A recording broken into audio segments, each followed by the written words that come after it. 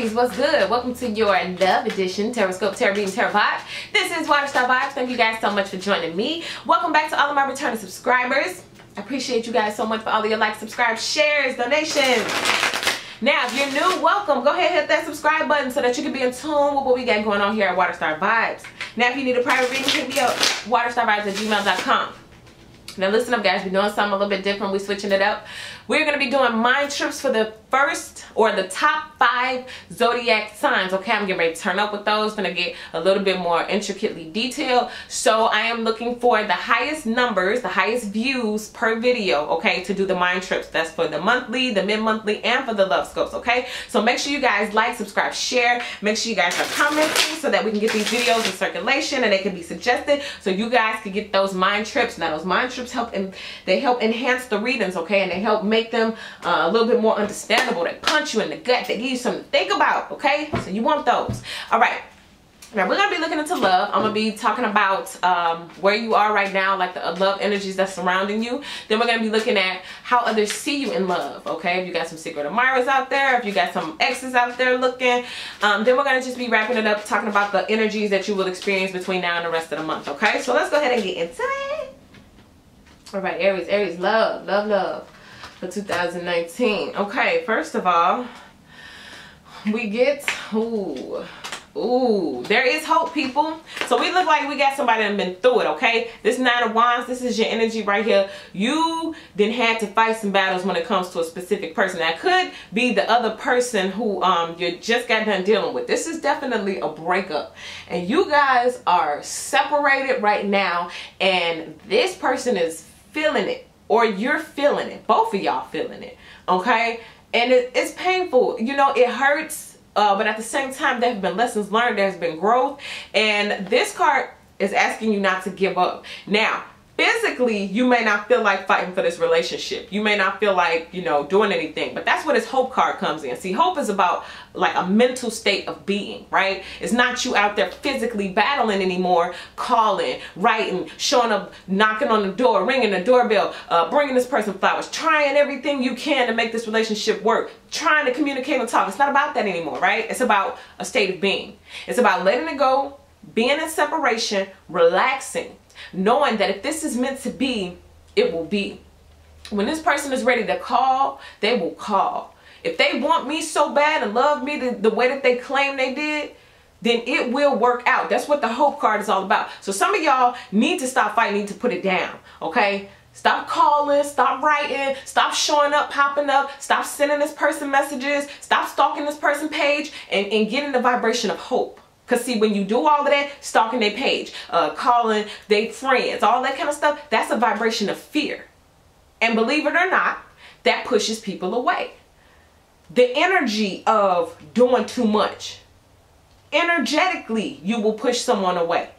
Okay? When you can sit in a feeling of hope, not do any of that, and, and, and sit in a trust and a hope, that vibration is much higher and it yields the results that you want a lot sooner. Okay? For some of y'all, I'm, seriously, I'm seriously hearing just put it down. Just let it go. Even for a moment. You know, and some of y'all in that panic state. I get that panic state of being like, if I don't do something right now, this is gonna be done. It's gonna be over. I gotta fight. I gotta go for my person right right now. And spirit is saying, relax. Have hope. Be in a, a different vibration. This is Aquarius energy right here. So some of you guys can be dealing with an Aquarius. Now, how are people looking at you? Let's see what's going on on the other side. Because some of y'all feel like you're panicked too because you're worried about what this person thinks. Okay? Ooh. Wow. Someone okay let's just break this down. Let me just say what we got. We got the nine of pentacles but then we have the eight of swords. So this is like someone who's single who's independent who's on their own maybe even possibly got a good job or some money but they're miserable they don't want to be single. They don't want to be out of this relationship.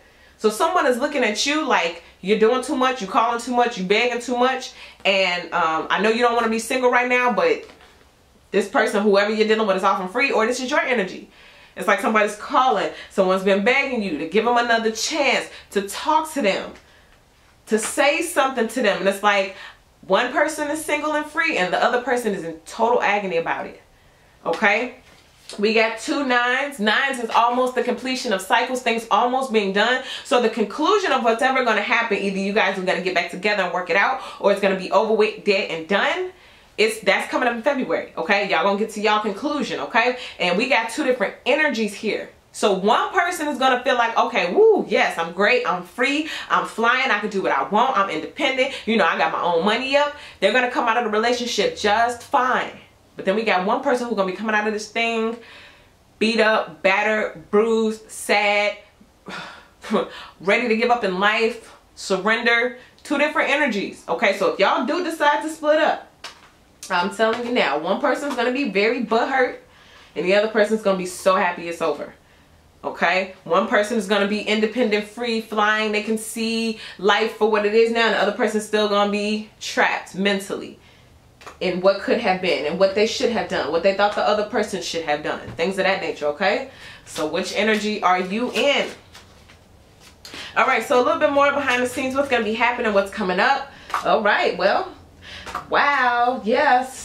Okay, so we have the Page of Pentacles here. So some news or some information about maybe something you guys worked on together, some type of project that you worked on together, or even this is just job or promotion information coming in. So it seems as though whoever's going to be leaving this relationship with the Nine of Pentacles feeling like they good, I'm straight, or whatever, they might be receiving some good news because that's the vibration of the energy that you're in. So you may uh, very well attract something brand new when it comes to like a job, a money venture, or something like that what I just heard, this is kind of sad, but I'm sitting with. Some of y'all, the only reason why your blessings have been blocked is because you've been next to someone who was praying against you.